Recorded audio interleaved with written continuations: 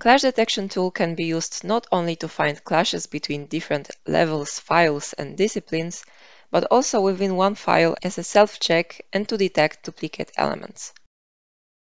Go to Clash Detection tool in Collaborate tab, and in the Clash Detection dialog box, select New and give the job a new name.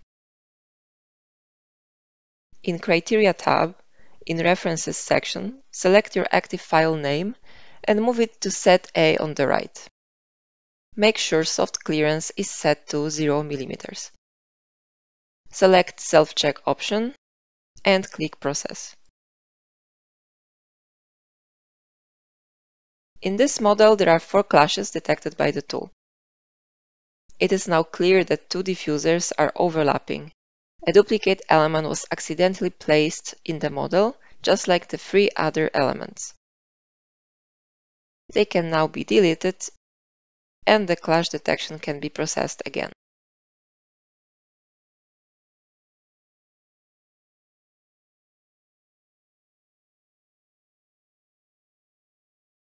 All clashes are now resolved.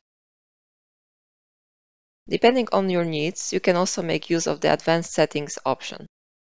Go to the Job tab and select the Advanced Settings.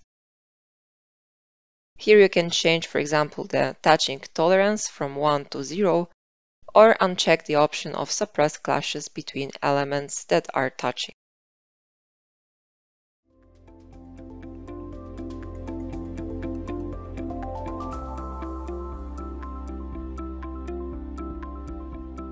If you found this video helpful, please give it a like. If you want to see more such series, consider subscribing to our channel.